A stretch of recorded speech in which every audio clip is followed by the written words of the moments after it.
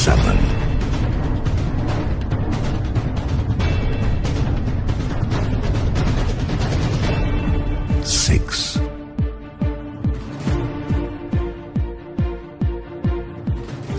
Well, first, the goal is every year to make the Freedom Conference Finals.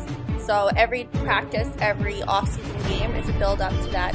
Four. But this year could be a totally different year. With the youth brings a new energy and excitement. I would say the bulk of the new girls have great lacrosse experience. Three.